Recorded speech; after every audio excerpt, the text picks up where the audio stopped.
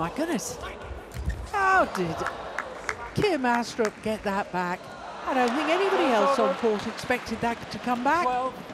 Look at that, between the legs. And then, there it is.